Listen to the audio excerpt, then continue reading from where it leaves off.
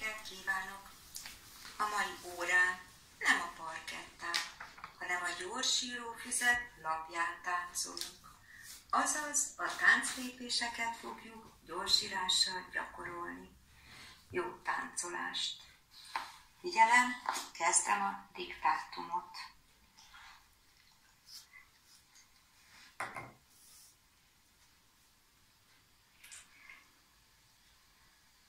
Lép, zár, lép, zár, lép, zár, lép, zár. Lép, mögé, lép, taps, lép, mögé, lép, taps. Előre lép, sarok, hátra megy, be, zár.